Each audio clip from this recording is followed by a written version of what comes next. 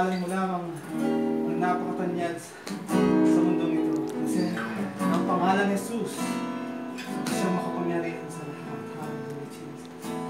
Kaya tuloy ko na ipasok ang baba ko